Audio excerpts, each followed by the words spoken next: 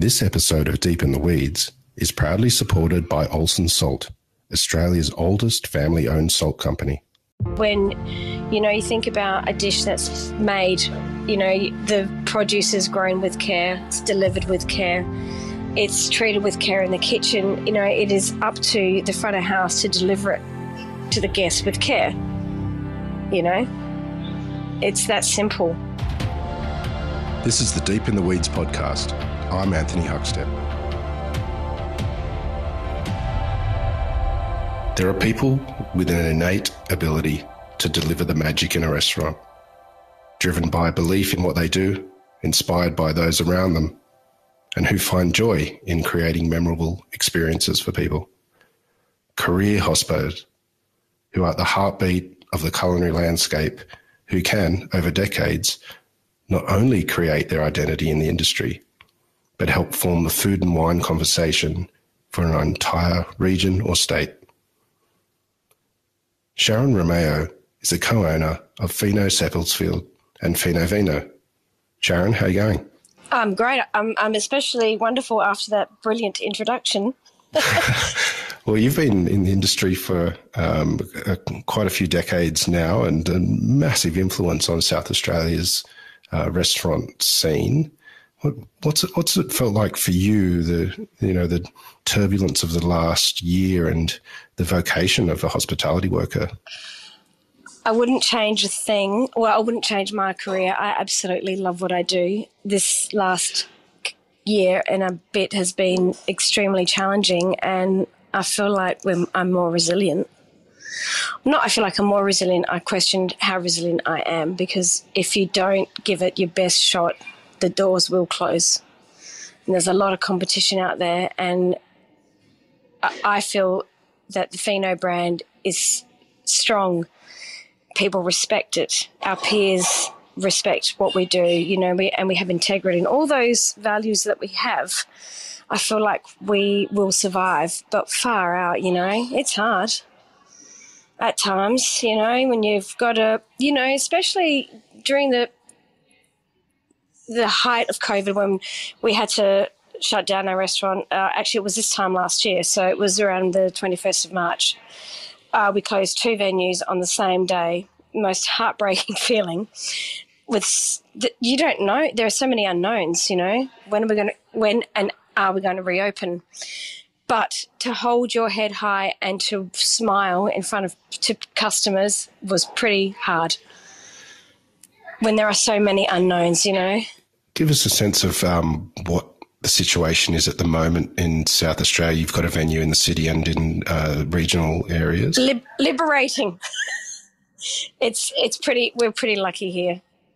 The South Australian wine regions are flourishing. You know, the domestic tourist, interstate tourism is is at its peak. I think still. You know, I mean, we're sort of at the tail end of. Um, the Mad March as well. So we, the Adelaide Festival's just uh, finished last weekend. Uh, I've got one more week of the Fringe.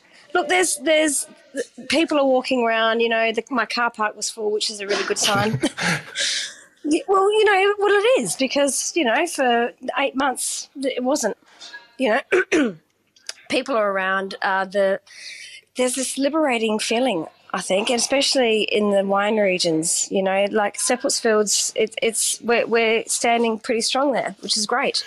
You mentioned the resilience required. Do, do you think these circumstances that have happened, do you think, uh, what, what do you think as the sort of hospitality industry that will emerge after the dust has settled on COVID? I think um, a lot of venues will relook at their business model. I think we have to um, really listen to what the customer wants. I think you know, having a recession and then a pandemic, you know, I think we have to offer value and fun. As we said at the top of the show, you've been influential for um, just over three decades in South Australia. Can you take us back to sort of where it all started and what drew you to hospitality? The kitchen table at my mum and dad's house. Pretty much Southern Italian family. Uh, we are calabrese uh, it is all about, well, you know, it was about cucina povera, which is peasant food. You know, we had my parents weren't wealthy, um, but you know the the beautiful dishes mum cooked, you know, and my, even my father, you know, we slaughtered the pig every year and we used, you know, nose to tail eating every day. Homemade tomato sauce, just the basic food, but God, memories there are so incredible for me. And so that was, pro- I mean, I would, you know, cook the family meal when I was 13 or 14 out of love. Wow. Well, because mum, d- dad was working, mum was working, and you know it would be a basic pasta sauce. Huck wasn't fancy, but it, it came very naturally to me. And my mother's and father's generosity of anyone that walked in that home, it just, yeah, I think it's innate. It's part of my DNA.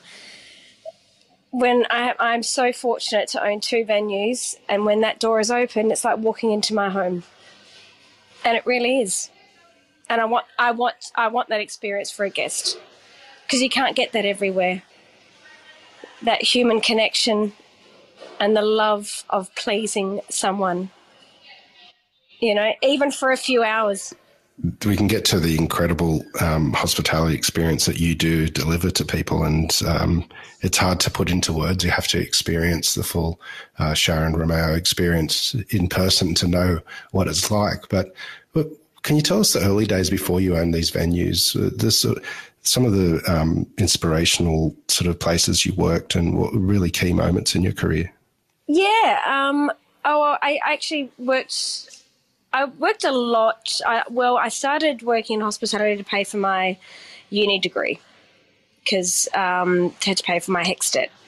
So, but then I just kind of yeah fell in love with it and didn't want to leave. I wanted to be a chef uh, at one point, um, and that didn't, not that it didn't work out. I kind of, uh, there was a, a, male chef that told me at the age of 16 that I was too old to be an apprentice. Wow.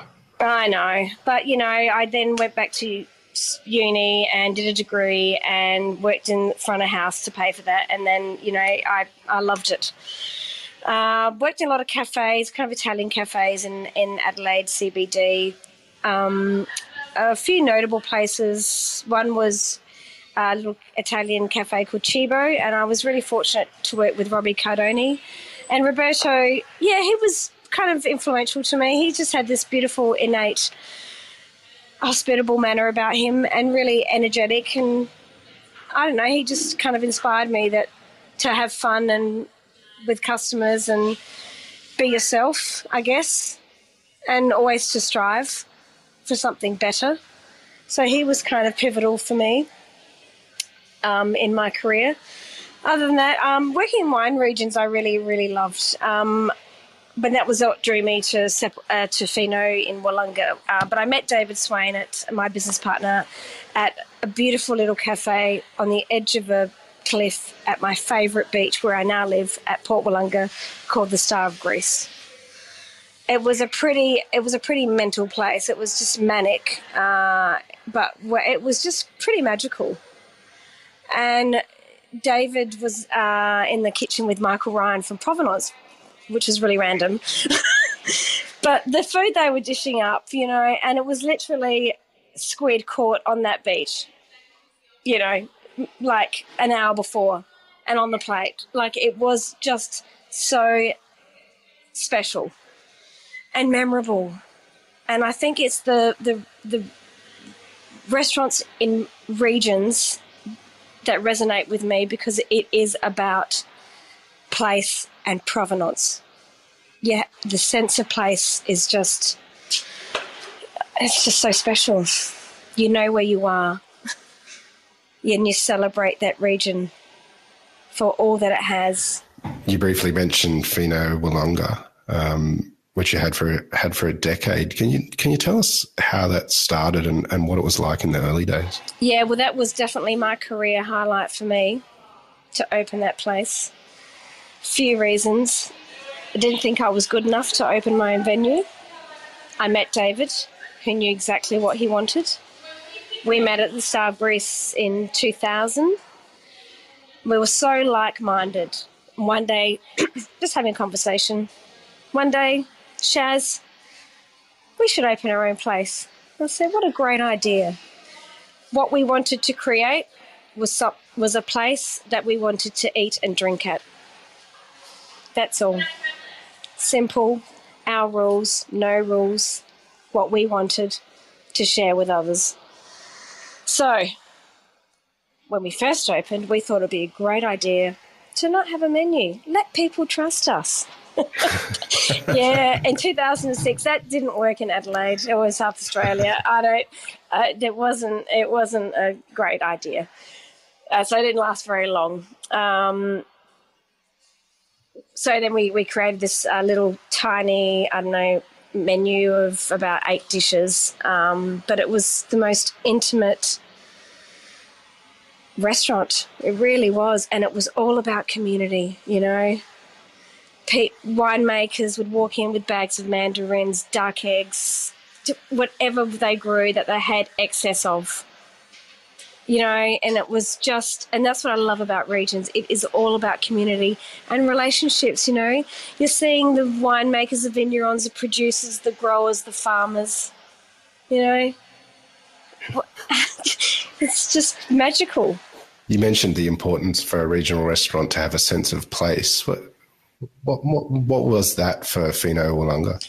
Well, it was about the produce mostly. Um, I, I actually look. I, I probably um, I had a really tiny small wine list of about fifty wines, and I I um, I got a bit of grief from locals about not having uh, enough local wines or their wines on my list. Um, but for me, it was to excite the winemaker and the guest about giving them something different that they might not normally have.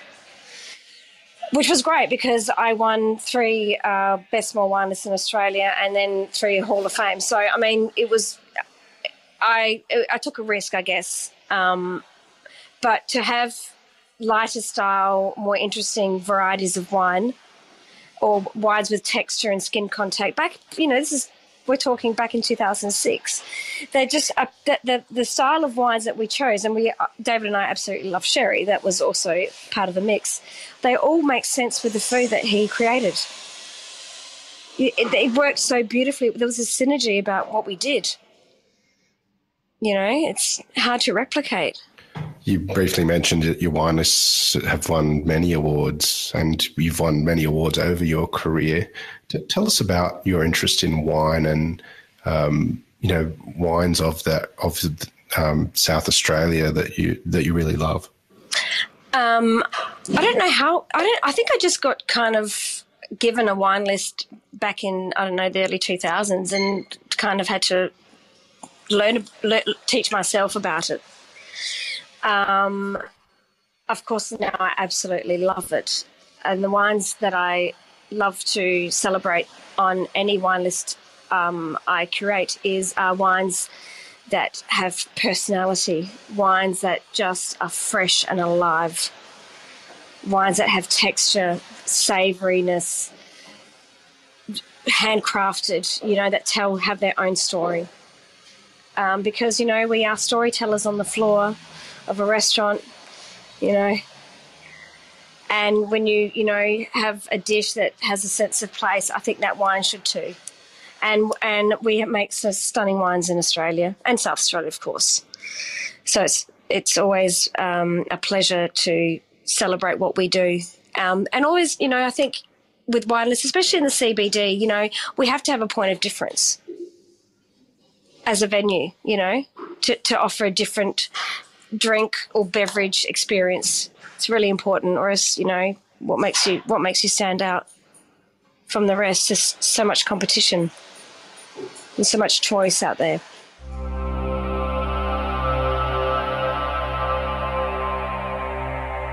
This episode of Deep in the Weeds is proudly supported by Olsson Salt, makers of Australian sea salt since 1948. We take the seawater from Great Australian Bight and then we store it in something called a primary pond. Then it's fed through a succession of ponds from anywhere between eight months and two years until it gets so heavy in brine and the water is evaporated off, the salt starts to fall out of the water, and it's as simple as that. That's all that we do, and we wash it in seawater and package it. Hi, I'm Alex Olsson from Olsson Sea Salt. Salt all over the world can taste differently, and that's because salt has character, in the same way that a wine has character from where it's grown. So, salt from the Eyre Peninsula has a very fresh, clean, crisp flavour that some of the best chefs in Australia appreciate. Eyre Peninsula is a, a really remote location, and because it's remote, it's considered a very pristine area. I mean, the next landfall is the Antarctic, and that pristine water makes it a perfect place to make sea salt. For more information, go to olsons.com.au. In 2014, you opened uh, Fino Seppeltsfield. Tell, tell, us how that came about and, and, a little bit about the establishment. Um, David and I were working, uh, sorry, we're at Fino Willunga. Um, a, a, regular customer was a man called Warren Randall. Um, Warren. Do you know much about Warren Huck? No, tell me. No, okay. Uh, Warren. Uh, well, he's uh, made his.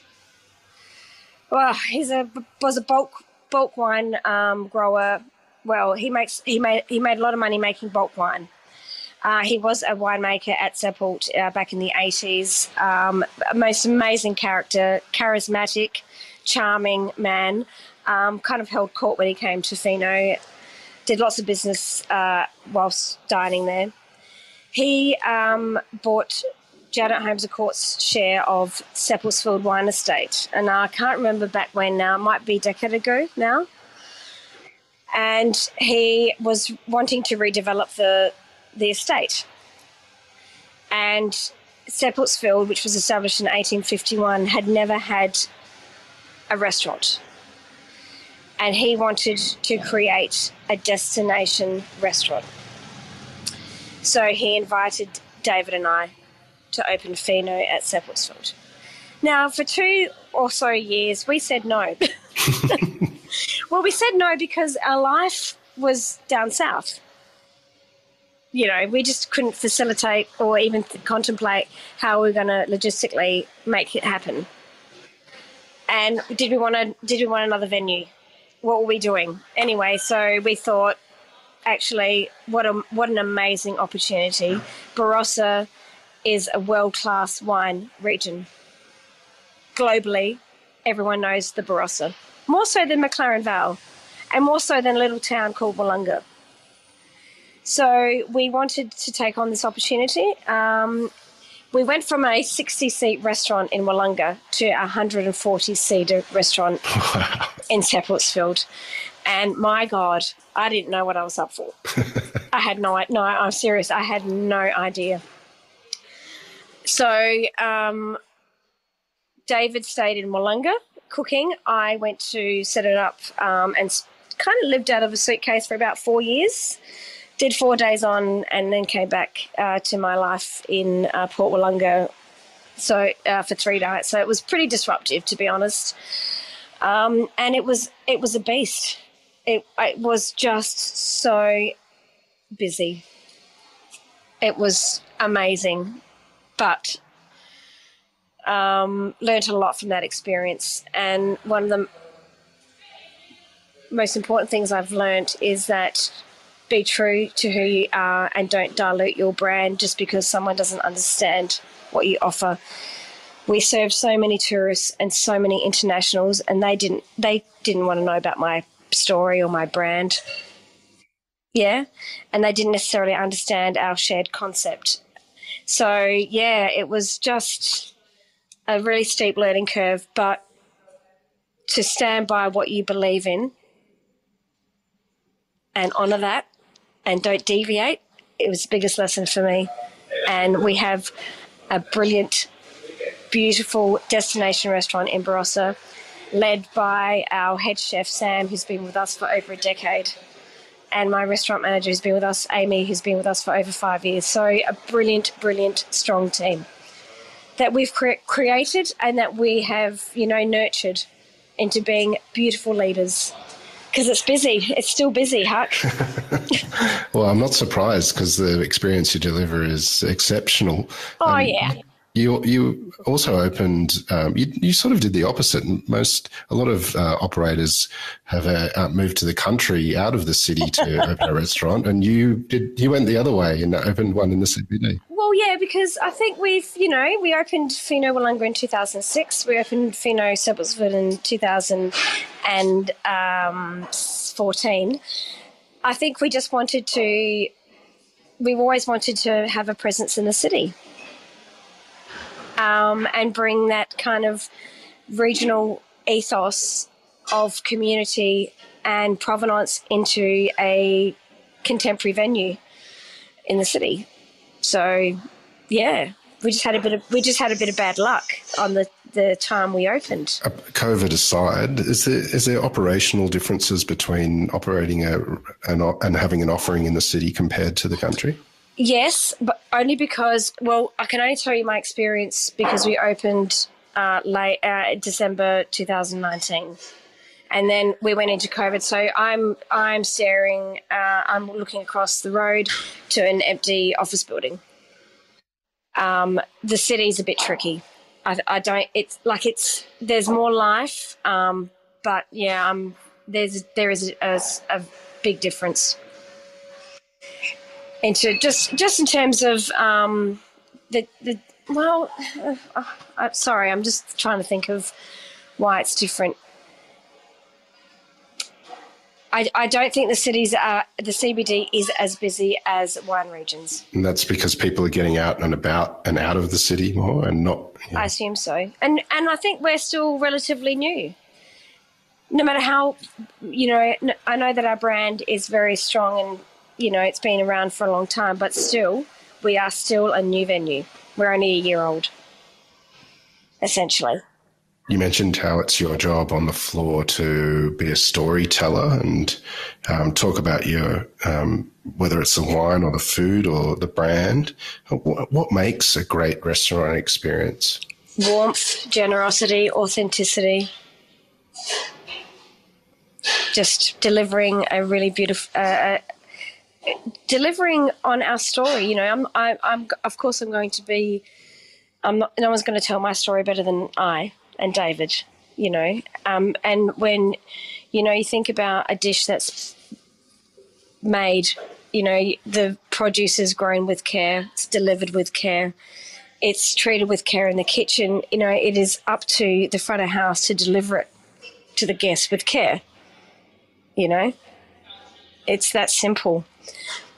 And um, I think delivering an exceptional guest experience is, you know, the front of house need to have this kind of intuitive service and anticipate the guest's need needs. You know, there's a lot of body language that a lot of, you know, people some some front of house kind of need to work on. yeah. Well, you do because you can see. I can tell if someone's feeling intimidated by our offering, and you go over there and you just, you know, talk them through. What you know, you can you can see. You, we can't be everything to everybody, but if you if we as a front of house can make someone feel comfortable in an environment they not might not normally be in, you know, they will return, and they'll have a, a wonderful time because that's what we want. We've only got them for a couple of hours. You've been an important part of South Australia's uh, restaurant industry um, for a while now. How, how, have you seen it changed over the last couple of uh, decades? I think we certainly have. I think we're standing. I think South Australia is becoming more known for our colour, for our for our food and wine experiences. Definitely, I think we're up there. We always used to be forgotten. well, we, no, we have. You know, think about the. You know, everyone kind of talks about Sydney and Melbourne. You know, but I think South Australia is definitely coming into its own. I think we have. Uh, we're more confident. I think we're we um, we're more confident. We're more experimental. Having the the having a lot of small bars open in Adelaide's been fantastic, and little you know little quirky places. The beauty about going to Melbourne, you know, you, you can walk down a laneway and come across this gem, you know, and uh, Adelaide's far more confident in cooking. I think we are um, delivering great experiences, actually, without a doubt. Compared to when we, when I first started in the cafe world of the in the nineties, you know, there were lots of Italian. there were a lots of Italian cafes, Huck, lots, and they weren't doing anything really, you know, mind blowing. But I think you can comfort. I can confidently say when I, you know, suggest customers to to dine out in other venues. Yeah, I've got lots of choices to give them, and and and they deliver on different experiences. South Australia is known for some amazing wines and an incredible produce as well. What do you think? What is it that makes South Australian producers and their produce produce so special? Well, our environment, maybe. Um, well, definitely the environment. Uh, I think we have the most amazing coastline from Port, from the whole Spencer Gulf, Port Lincoln, you know, th- right through down south. You know, the the amount, the bounty of amount of seafood we have, and we're getting more of it too since um, less is being exported. I'm about to meet um, our Pippi uh, producer tomorrow with some, you know, bluefin tuna hearts for us to try. Wow. You know, um, the the quality of poultry and beef, eggs, ev- everything, Huck. It's just we are so so lucky here. You know, um, we we deal with we we have lots we have um, been dealing with growers and producers now for you know 15 years I have a list in front of me here of um, some of the accolades that you've received, and it'll probably take an episode of Deep in the Weeds to go through them all. Um, it's pretty extraordinary. But what's been some of the highlights for you, and what's been some of the greatest honours that you've received? Oh well, winning my first little small wine list um, was list award was my one of my biggest, only because um, one of the gourmet traveller wine judges, Peter Forrestal, came into Fino Willunga and, you know, I just gave him my little A4 piece of paper as a wine list. And he's like, Sharon, I said, yes, Peter. You should submit this to a wine list award. I said, what wine list? You know, I didn't even know they were there. What wine list award? This is, I'm just this little restaurant in Willunga, South Australia that probably no one knows about. So, yeah, to be recognised for writing a really small wine list was probably one of my highest. Uh, but also to be recognised for my service, you know, um, every award there's, there's, you know, they all mean a lot to me. Huck, every single award, no matter where, whether it was from the advertiser in South Australia or to best restaurant manager in Australia with women in business awards, you know, they all have the same I have the same emotion. I'm so p- proud of my achievements to be recognized as someone who absolutely loves what they do. So yeah, there's no there's there's no favorite little trophy. yeah. You mentioned the challenges with the newer venue in the city because of COVID, and the the regions are, are flourishing at the moment as people sort of people step out. Um, has there been operational changes and changes um, for, for you over the last year as a result of what's happened? Uh, well, um, so um, because we had, didn't have the trading history at Fino Vino, we couldn't um, qualify for JobKeeper. So I have come back on full time in the city. Well, I've loved it. Uh, to, to be back on the floor. I mean, my body hates me. my body hates me because after 30 years, you know, with uh, cortisone injections in my elbows, uh, shoulder surgery, knee surgery, all from work, you know, I'm probably working a little bit too too much, but it's been wonderful to reconnect with the customer because we, you know, we were trying to kind of phase out, and we had a we had a full uh, team here, but yeah, from COVID we had to let everyone go. So I'm back. I'm back uh, working more hands on. With that hands on uh, experience like that, is it changing the way that you perceive your role as a as an owner and restaurant manager across the venues? Uh, yeah, I kind yeah, I I kind of didn't expect me to be in this role um, that I'm in. It's um, but it's not it's not it's only for the short term. So uh, the plan when we can hold our own, you know, we'll we'll employ um, a restaurant manager to lead lead the team in the future, which is the plan. So that's me working hard right now, Huck, to make it all happen. With with all of your experience over the years and the challenges that you've had, what what sort of advice would you give to young people looking for a career in hospitality? but I want to say you shouldn't record. don't don't do it for the money. uh, do what you love, truly, because do it if you love it. It is the most rewarding industry. You get to work with booze, with food, with people. You get to tell stories. You get to have fun. You get to laugh. You get to listen to great music. But do it because you love it.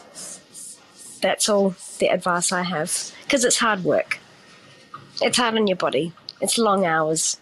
Well, it's a beautiful sentiment. And um, as I alluded to earlier, you really do need to experience your hospitality in person because it's really something that can't be put into words. It's something that you have to uh, experience and feel um, for yourself. So I recommend anyone uh, in traveling to South Australia to get out and check out Fino. Um, we've loved having you on Deep in the Weeds, Sharon, to share your story today. I've loved being on. Thanks, Huck. It was such a pleasure to be with you. Well, hopefully catch up with you soon down there. And um, please come and visit me. um, and um, we'll catch up again soon. Thanks, mate. Love your chat. This is the Deep in the Weeds podcast. I'm Anthony Huckstep. Stay tuned as we share the stories of Australia's hospo community, suppliers, and producers in search of hope during this pandemic. Special thanks to executive producer Rob Locke for making this all happen. Follow us on Instagram at Deep in the Weeds Podcast or email us at podcast at deepintheweeds.com.au. Stay safe and be well.